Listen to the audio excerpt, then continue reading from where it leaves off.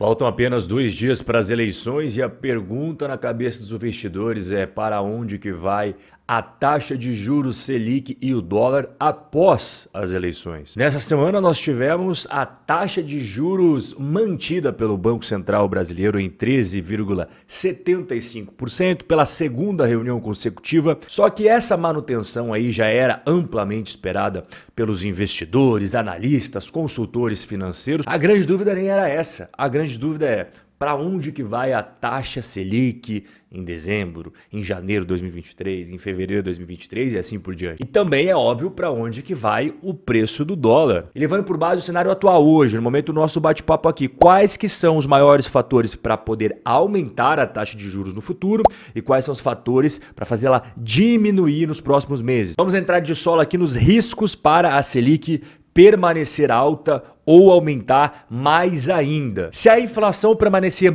alta no mundo, a Selic também pode permanecer alta no Brasil, até mesmo porque hoje com a economia globalizada é muito difícil você ter um único país no mundo sem inflação por longos períodos sem ser influenciado pela inflação de outros. A Turquia a Argentina completamente fora de controle, né? E a gente tem países que eram considerados assim, países sem inflação nenhuma, Holanda, os países ali da União Europeia, Reino Unido, Alemanha com muito mais inflação do que o Brasil. O Brasil, nesse momento, é um dos países pasme, com menor inflação do mundo. O Brasil, que era campeão de inflação, sempre foi ao longo de décadas e décadas. Só que tem um pulo do gato aí que a gente tem que jogar limpo aqui. Essa inflação aí, ela só veio caindo nos últimos meses, igual eu tô mostrando na tela. Aí você tá vendo a taxa de inflação mensal, o IPCA. Olha ali, julho foi deflação, agosto foi deflação, setembro foi deflação. Porque numa quinta-feira, dia 23 de junho de 2022, o Bolsonaro ele acabou sancionando uma lei que limitou o ICMS. Eu mostrei em outros vídeos que se você tirar esses itens aí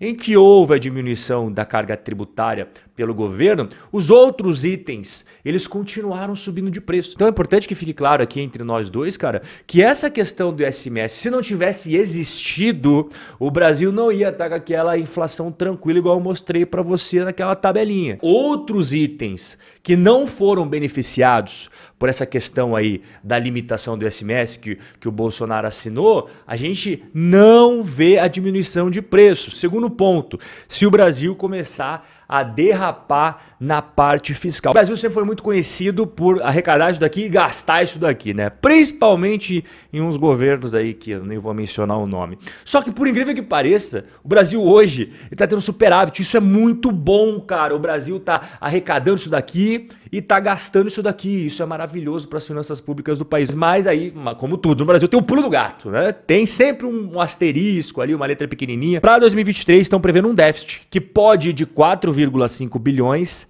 até 103 bilhões de reais. A manutenção do Auxílio Brasil em 600 pila todo mês vai dar uma despesa anual para os cofres brasileiros aí de quase 52 bilhões de reais. Agora o que, que pode levar a Selic para baixo. Vamos conferir aqui. Primeiro ponto aqui, se as commodities entrarem em queda. O que, que são commodities? É petróleo, é trigo, é milho, é soja. Aqui, inclusive, você está vendo o preço do petróleo no mercado internacional lá desde os anos 2000 até agora 2022, né? Finalzinho do ano já. Olha só como fica claro para você que as commodities têm momentos de altas e baixas, altas e baixas. Né? Neste momento aqui, nós engatamos uma alta gigantesca no preço do petróleo. Será que vai continuar em alta? Será que vai ter em queda? Ninguém tem bola de cristal, são tantos fatores que influenciam nisso daqui. Mas não é só isso não, tem outros fatores também. Por exemplo, vamos para o fator número dois, uma desaceleração da economia global. Tá todo mundo já falando da economia dos Estados Unidos. Parece que todo mundo assiste o canal aqui. Eu já venho falando há alguns bons meses. Até me fala, falavam que eu era louco de falar isso daí. Bom, que uma pesquisa recente aí, 91% dos CEOs disseram prever uma recessão nos Estados Unidos nos próximos 12 meses. Então já está batendo a porta. E um modelo estatístico da Bloomberg diz que há 100% de chance de que a economia dos Estados Unidos também entre em recessão dentro dos próximos 12 meses. Então, Parece que agora já não é tabu falar sobre isso daqui. Mas a grande pergunta é, beleza, quando que ela vai cair se ela for cair. Qual que tem mais probabilidade, Rob? Continuar subindo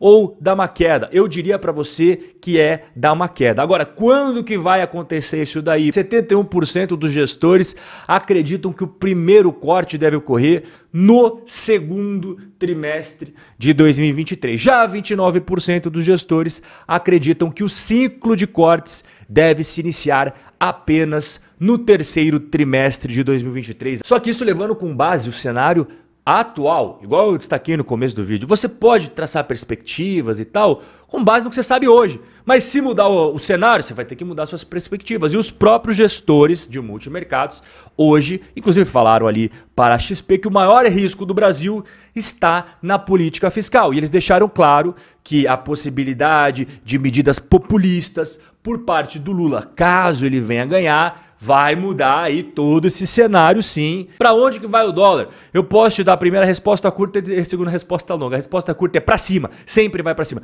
mas no longo prazo. Você pega esse gráfico aí, ó, desde a década de 90, o comecinho da década de 90. Lembra da década de 90? Banheira do Gugu, você lembra das maravilhas da década de 90? Não tinha mimimi, não tinha politicamente correto, né? Década boa. Então, olha só o dólar onde é que tá. Até o dólar era bom nessa época.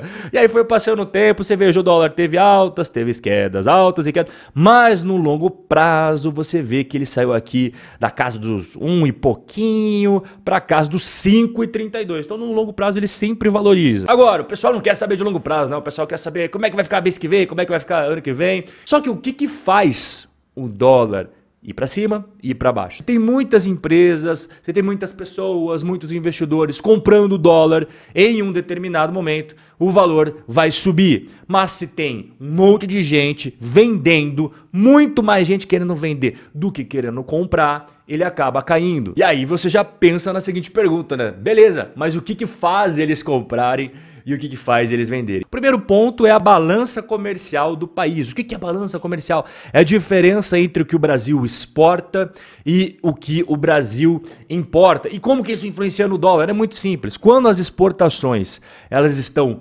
maiores, melhores, mais robustas do que as importações, o Brasil acaba vendendo produtos mais para fora. É produto para a China, é produto para o Canadá, é produto para a Europa. O dólar acaba caindo de preço. Agora, pensa no contrário. Quando as importações estão melhores, o país acaba comprando itens fora, compra itens dos Estados Unidos, compra itens da Europa, compra itens do Oriente Médio, o dólar sobe. É muito simples, ó.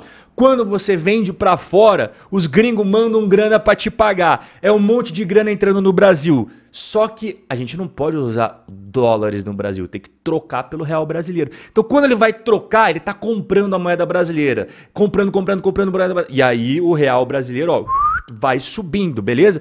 E o mesmo vale para o cenário inverso. Quando o Brasil está importando muita coisa, muita coisa, o nosso real ele tem que ser convertido em dólar. Você tem que comprar dólar para conseguir fazer essas importações, certo? Ninguém aceita reais brasileiros, então você vai ter que converter. Então, quando a gente fala em converter, simplesmente você está trocando real e comprando dólar, comprando dólar, comprando dólar. E aí o preço do dólar vai subir. Segundo ponto é a taxa de juros. Quanto mais altos os juros de um país, mais os gringos vêm crescer o olho aí, aquele olho de investidor sedento por rentabilidade para comprar títulos públicos no Brasil. Só que aí tem que tá, fazer uma, um balanceamento, porque você também não pode jogar lá a taxa de juros 30%, 40%, porque senão você, além de destruir a economia brasileira, o gringo vai falar, pô, aí tem uma coisa errada, tá muito elevada a taxa de juros, esse país deve estar tá degringolando. Então, se as contas públicas começam a ir mal, o país começa a ir fora de controle, tipo uma Venezuela, Argentina da vida, mesmo que a taxa de juros esteja pagando 80%, 100%, o gringo não quer saber, ele vai fugir do país. Então, quando ele investe no país, é o mesmo negócio da balança comercial que eu expliquei para você.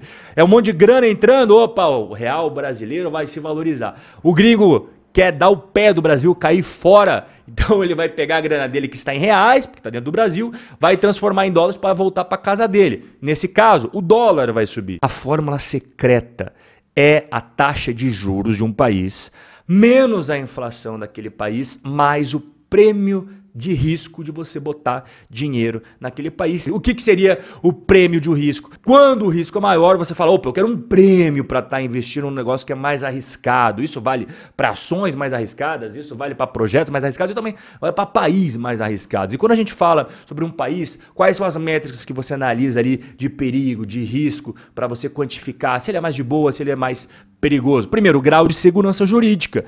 Qual que é a proteção à propriedade privada que aquele país dá? Qual que é a proteção que o judiciário dá às bases do sistema capitalista, a proteção aos contratos, a estabilidade dos entendimentos judiciais. Tudo isso é o grau de segurança jurídica de um país. E quando a gente coloca num mapa, a gente vê aqui os países que estão em verde são aqueles que têm maior segurança aos direitos de propriedade, que é a base do sistema capitalista. E aí você tem as cores amarelinha, que já é mais ou menos, né? O laranja o amarelinha já são mais ou menos, e vocês têm os países vermelhinho, que é complicado. Aqui você está vendo o índice de corrupção pelo mundo, a mesma coisa, tá? Os verdinhos são os países com menos corrupção, amarelinho e laranja é já meia boca, e ali em vermelhinho é corrupto pra caramba, né? Curiosamente, olha só, de novo, Venezuela tá despontando ali, Nicarágua, Cuba, vários países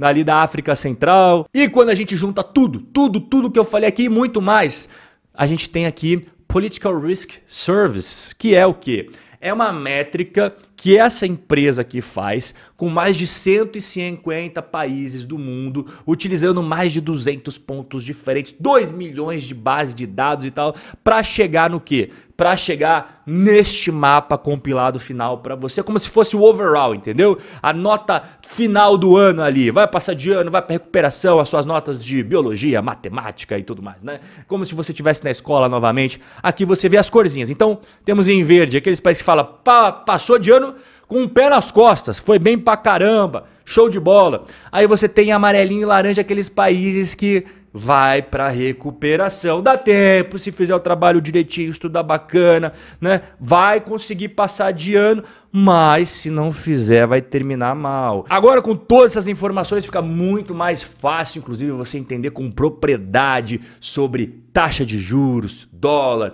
política fiscal. A gente vai ficar ó, de olho aberto para o caminho que o Brasil vai seguir a partir de 2023, 2024, 2025 e aí por diante. Um forte abraço e a gente vai se ver no nosso próximo encontro.